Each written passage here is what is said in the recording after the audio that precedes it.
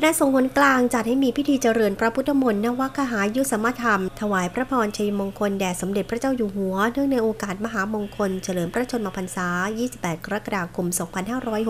2561 คณะสงฆ์หนกลางร่วมกับสำนักงงานพระพุทธศาสนาแห่งชาติ จัดพิธีเจริญพระพุทธมนต์นวัคหายุสมธรรม ถวายพระพรชัยมงคลแด่สมเด็จพระเจ้าอยู่หัว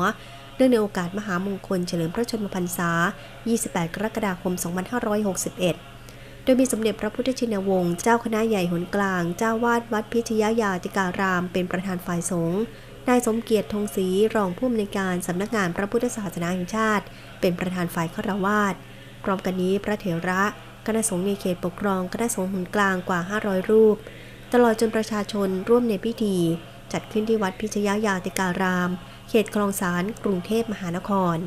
สืบเนื่องจากโอกาสมหามงคล เฉลิมพระชนมพรรษาสมเด็จพระเจ้าอยู่หัว 28 กรกฎาคม 2561 มหาเทราสมาคมได้มีมติให้คณะสงฆ์ทุกคนและวัดไทยทั่วโลก จัดพิธีเจริญพระพุทธมนต์เพื่อถวายพระพรชัยมงคลแด่สมเด็จพระเจ้าอยู่หัว ทั้งนี้คณะสงฆ์หนใต้ จัดที่วัดกระพังสุรินทร์จังหวัดตรังแล้ว เมื่อวันที่ 24 กรกฎาคมที่ผ่านมาส่วนคณะสงฆ์หนเหนือจัดที่วัดพระศรีรัตนมหาธาตุจังหวัดพิษณุโลก เมื่อวันที่ 25 กรกฎาคม พร้อมด้วยคณะสงฆ์หนตะวันออก ซึ่งจัดในวันที่ 25 กรกฎาคม ที่วัดไตรมิตรวิทยาราม และในวันที่ 29 กรกฎาคมนี้ คณะสงฆ์ธรรมยุทธ์จะจัดขึ้นที่วัดเทพสุรินทราวาสเขตป้อมปราบศัตรูพ่าย กรุงเทพมหานคร